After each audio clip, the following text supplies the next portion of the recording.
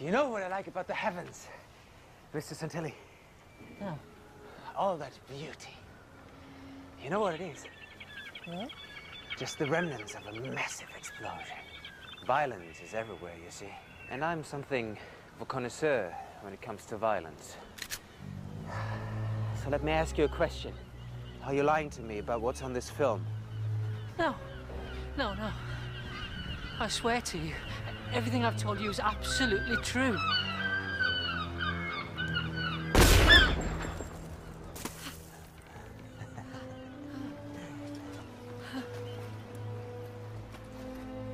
I like you, Ray.